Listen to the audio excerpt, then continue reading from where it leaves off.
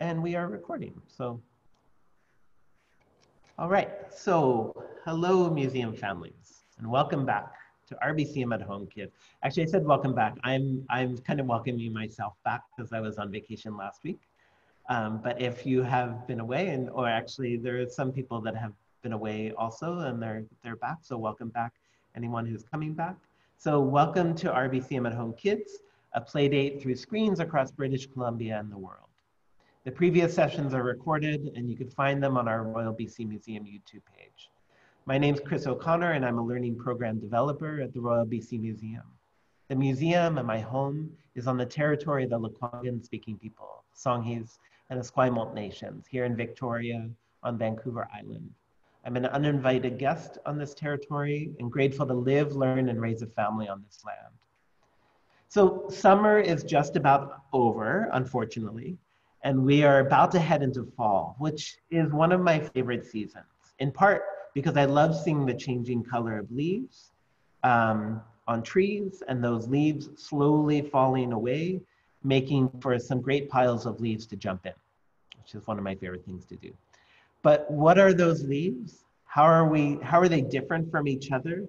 What tree do they come from? How do we make sense of all the different kinds of leaves that we see? And what do they tell us about the world that we live in? So that's what we're going to be exploring today. Um, but before that, or like we usually do, we're just going to um, look back to last week with RBCM at Home Kids. So again, I wasn't here last week, um, but Kim was the host and uh, the guest was Mitra Niku. Um, and the, the picture that you're seeing on the right is the picture that Mitra finished. She was working on this one of a shell um, doing science illustration. And then two of our participants submitted uh, the shells that they were working on too. So beautiful, um, really like lots of great close looking, understanding what we're looking at through, through sketching and drawing. So that was last week. Not gonna uh, make art necessarily today, but we might do some drawing. Um, so if you, whatever you wanna share today, even if it's a drawing of the leaves that you categorize, uh, definitely feel free to share it with us, with me, um, C-O-C-O-N-N-O-R at royalbcmuseum.bc.ca, or share it through our social feeds uh, at Royal BC Museum or hashtag RBCMKids. As always, continue exploring after our online programs through our learning portal. Um, Ken actually has uh, some things up on the learning portal as well. So uh, if you're intrigued, continue exploring. You can Google Learning Portal and Royal BC Museum. And next week, it's a little bit of a surprise. So uh, usually I tell you what's going to be next week, but it's a little bit of a surprise. But um, what I will say is it has to do with um, school and school starting. And it's a, uh, with a beautiful family uh, that is connected with the, the, the museum and who does really incredible work around learning. Um, so that will be next week, next Wednesday. All right, so let's come back to, so just a reminder, this is a, a webinar, so you can see us, but we can't see you. But we can connect with you if, um, if you use the Q&A box or the comment section on, on in Zoom if you're on Zoom, or the comment section if you're on Facebook Live. And a heads up, we'll be investigating leaves today. So if you would like, you can gather an assortment of leaves, about 20 in total. Um, there should be different, a variety of different kinds of leaves. And then also paper and something to draw with, also only if you'd like. But, um, but if you don't have these things, not a problem. You could watch this now and then again later when you do have them. So let's meet our special guest for today. Um, today we have Dr. Ken Marr and Ken is the curator of botany here at the Royal BC Museum, which means that he knows a lot about plants and trees, and he helps look after them and grow the collection of hundreds of thousands of plant specimens that we have here in our Royal BC Museum herbarium. So um, welcome, Ken. So glad to have you here. Thank you, Chris. This is a, a fun activity that I've done with groups before, and um, we're, this is the first time I've tried to do this uh, in this manner, but um, when we're finished, you and some of your friends might want to get together and you can all get a group of leaves and uh, all of you get the same leaves and then uh, work apart from each other and see if you create groups in the same way. So in other words, to restate that, each group has identical set of leaves, each person or a group of people. And then you, on your own, you just kind of organize them the way that you think makes the most sense. And, and the goal being to uh, put leaves together that have something in common with each other and are more common to each other than they are to another group of leaves. So today we're going to do it in a little different manner. So Ken, before that, can I ask just, because you're a curator at the museum, yeah. why is organizing important? Yeah, and, and that's a kind of a question I put in the, um, in the introduction to this session this morning. And I wonder, is anyone, I'll, I can give my answer, but uh, would anyone else like to give an answer? Like, why do we not only leave, but throughout our lives, why do we organize and give names to different objects? What's important about that? Or is it important? I'll just wait a couple seconds and, and while you're thinking about that, um, if I told you about a plant called poison hemlock, would you go out and, and add it to your lettuce and tomatoes and cucumbers for a salad? Mm, I'm going to say no. That would be a good answer, Chris, because poison hemlock actually is a common weed around Victoria as well as much of Western North America. And if you ate too much, you could uh, die from it. So yeah, I see. So one Ken, just um, Hartley uh, says, like we can get different plants confused. Yeah, so, we, so it's good question, Hartley. So it's really important to be able to communicate. Um, some some names often have meaning in them. The name of a plant has some meaning, just like the one I gave uh, poison hemlock. So um, you might want to know, okay, what plants looks like poison hemlock, and maybe the plants that look like poison hemlock would also be poisonous. So that's one of the reasons why we like to group plants together. We'll just use plants today, and we'll use leaves of plants today. But one of the reasons we want to group them together is some kind of logical order that helps us understand a bigger picture about diversity. So I'm going to switch to my camera. And um, we'll see if this works. And bear with us if it doesn't work very well. It so works. You, it works. Okay, hooray. So I'm a low tech kind of guy. So this is a major accomplishment. Okay, so now can, can see my leaves. Ken, just before you also you start in on that, just yeah. we can hear you so you can speak. But when did you first start getting interested in um, plants and and trees? I I am very fortunate. There are a lot of kids out there who are um, might be interested in like where when did you start?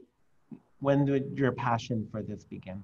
So this passion began when I was very young because both my parents were scientists, and both of, my father in particular was a biologist, a, a botanist, a plant ecologist to be specific. And uh, so I just grew up listening to my parents talk about plants and how important they were in the environment for animals, for people, for um, everything else that lives around us. So um, yeah, for me, it was kind of unusual.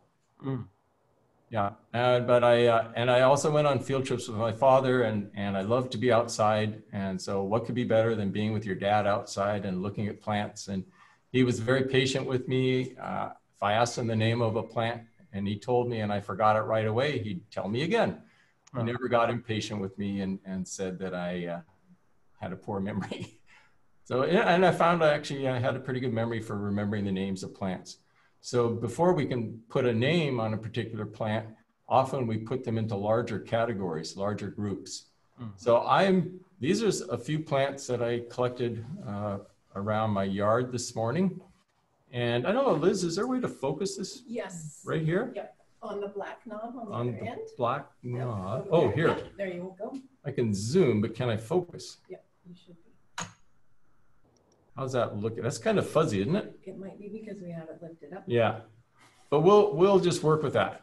Okay, so um, if you have a set of leaves yourselves, you can sort of start doing this your, yourself, and there's no correct answer.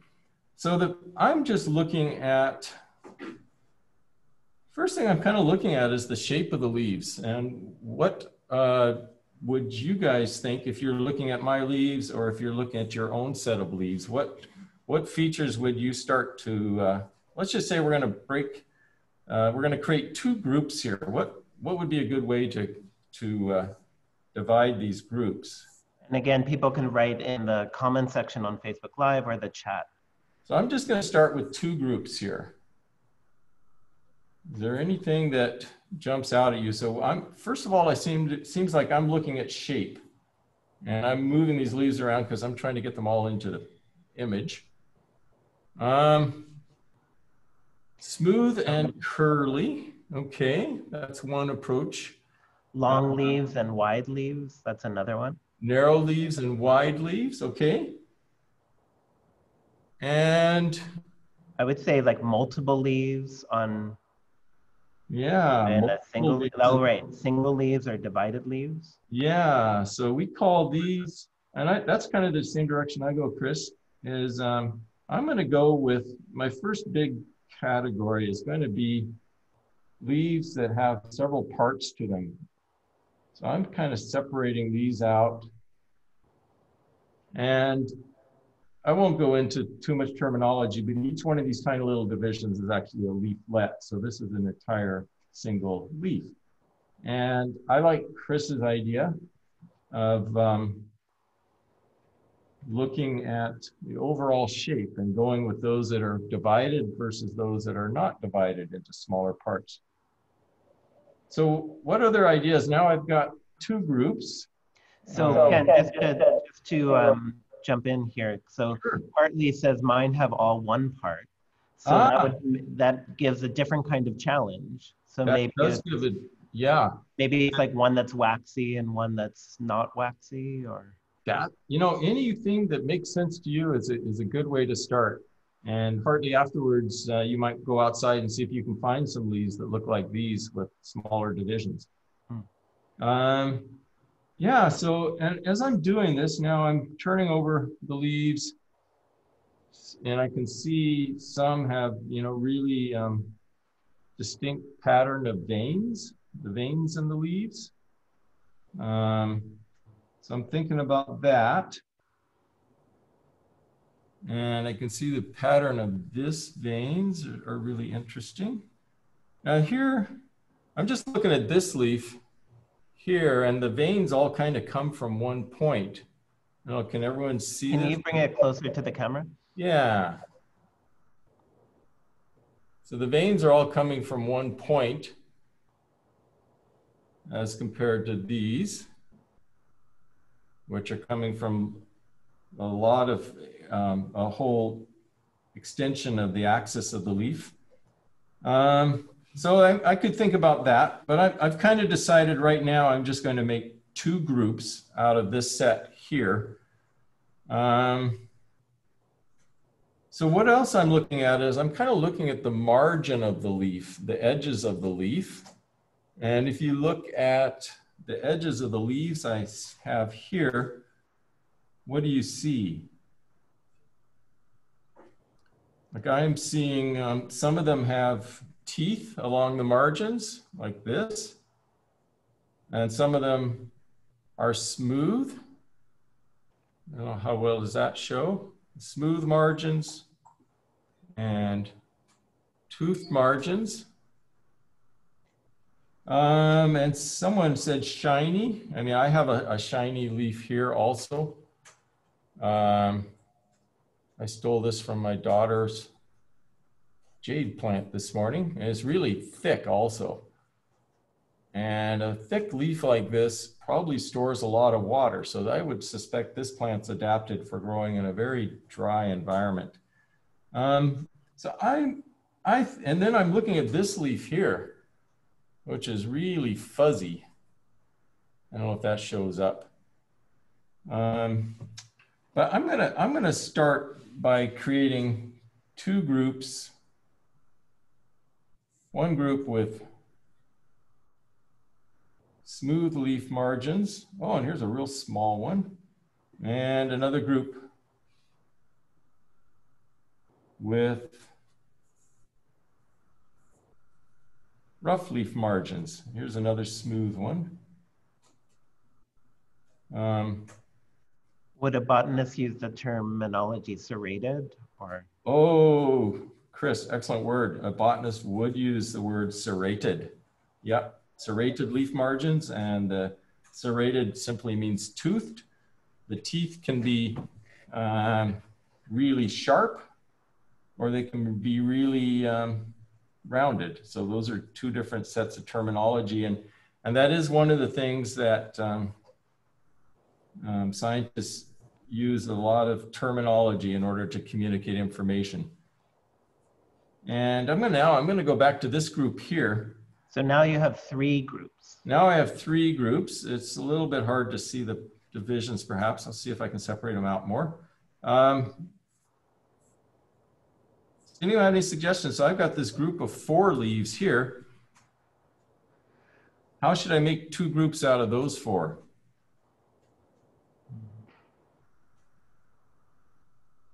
So again, feel free to write in the chat or in the comment section of Facebook Live.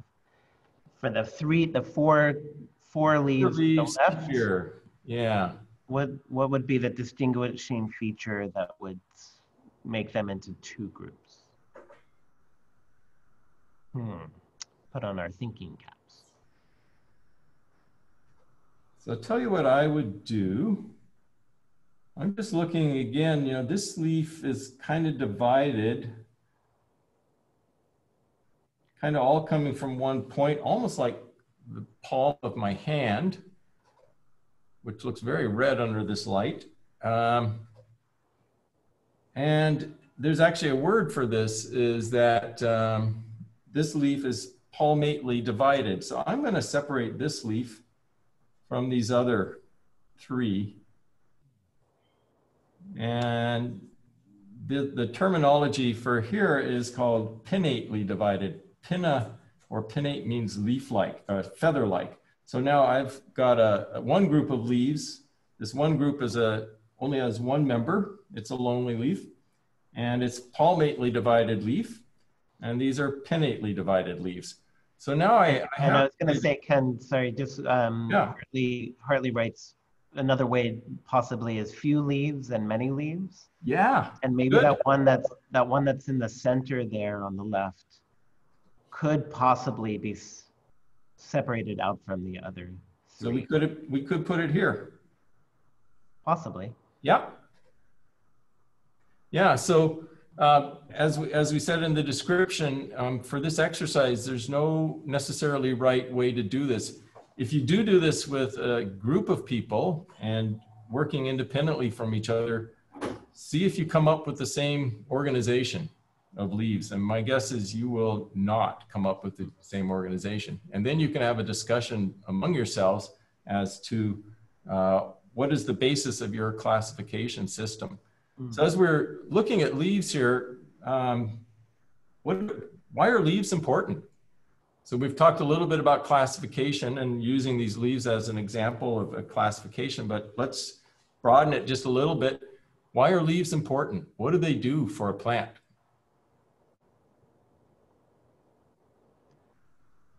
So what do leaves do for the What do plant? leaves do for the plant? Yeah. Like if the plant did not have the leaves, how would how would it impact? Like Could what a would? plant grow without leaves? That's a that's another way to put it. So Hartley says, do they absorb sunlight? Yes, Hartley, they do absorb sunlight. And can anyone follow up on why that's important? Why would plants need sunlight? So I'll just go briefly, and, and I realize we're not here to talk about photosynthesis, but the most important chemical Right. reaction But on the Earth, response actually was sun makes all plants grow. sun makes all plants grow by a process called photosynthesis that you'll learn about as you get into uh, middle school and high school. It's the most important chemical reaction on the planet. It's what gives plants their food, and everything that eats plants gets their food ultimately from photosynthesis. And photosynthesis happens in the green parts of the leaves. So, uh, incredibly important that plants have leaves. So backing up to our classification right now. Um, so we we're only looking at leaves now. And let's say you wanted to make sure that your classification scheme was really accurate. What more would you want to know about these plants that would help you group them together in a way that you knew where all of the members of one group were closely related to each other? And that's what we mean about accuracy. So you only have, we're only looking at the leaves now.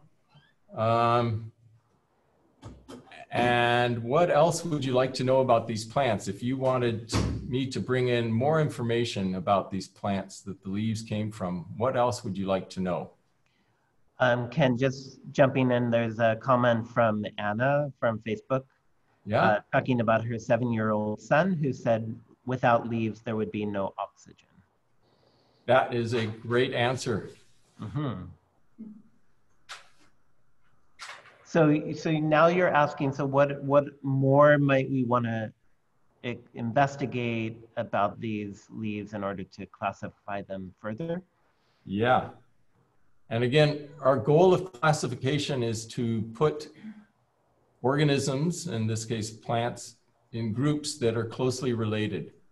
So every member of each group is closely related to the other members, and each group is distantly related to the other groups. Maybe that's not especially well said. but, um, yeah.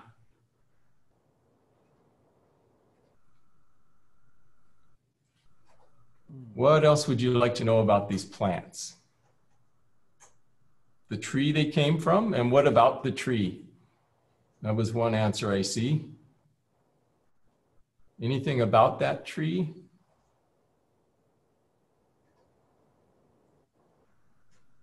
Would anyone like to know about the flowers that these plants came from? And in fact, in um, classifying plants, um, usually the flowers are the first thing that people look at if they have a flower. The tree they came from, where are the trees commonly found? Yeah, that's a good answer too. Something about their environment, that would be helpful. Can you eat some of the flowers? Yeah, some flowers are edible. Um, that might help you in your classification scheme. Maybe where the, the trees are like where they're usually, where they usually grow. Yeah, Because you talked about the one that retains a lot of water. yeah, like In a hotter, like less water yeah. um, That would environment or habitat. Yeah. Um, you might want to know, is it a plant that grows and dies back to the ground every year? Like some of the, the vegetables and some of the flowers in people's yards? Um, some plants, they grow, they become woody and they keep adding woody tissue year after year. Others grow and just for one season and then they produce a flower and then seeds and then they die. So those are the kind of things that botanists would also consider when they're trying to come up with a classification system. Um, So we have uh, Hartley says how old the tree they come from is. So that's like, is it a relatively, yeah, like an older tree or younger tree, and also the growth of the leaf, I would imagine is. Sometimes uh, a tree, the young leaves look very different from the old leaves. So that's something to consider as well. Uh, a lot of poplars, if you go outside and you see poplars growing, young poplars will have huge leaves. And then as the tree gets older, the leaves get smaller and smaller. So you, just observing that is really critical because if you only compared the size of the leaves, you might think they were from different trees or different species, but they're the same species. Um, So Ken, one thing I'm thinking, because we have about five minutes left, mhm. and um, Anna again from uh, Facebook says uh, she and her son they think that the top leaf on the left is a rose leaf, This one here? possibly. But I'm thinking maybe um, over the next couple of minutes, if you want to just now that we categorize these, maybe you just give a little like pull the, back the curtain a little bit in terms of what we're looking at and what are these leaves. Sure. So is that true? Is that a rose leaf? There are no rose leaves here. This is an ash leaf. This is a bean, bean leaf. Uh, It's got three parts to it.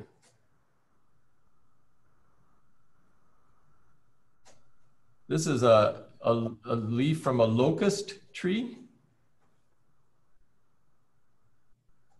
This is a type of geranium.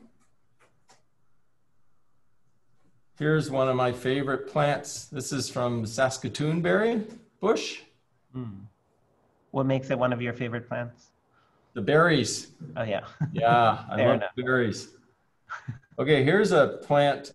Um, you can see how fuzzy the leaf is. Uh-huh. This might remind you of a part of an animal, the ear of a particular animal. So this is called lamb's ears. Is it so woolly? This is another kind of uh, hairy leaf. And I could have used, I could have put these two together in one group because they have hairy leaves. This plant is called woolly sunflower. It's called woolly because the underside of the leaf is very fuzzy. Um, What's the what's the form and function of that? Like why why would it ah, be underside? does anyone have any ideas why a leaf might be fuzzy?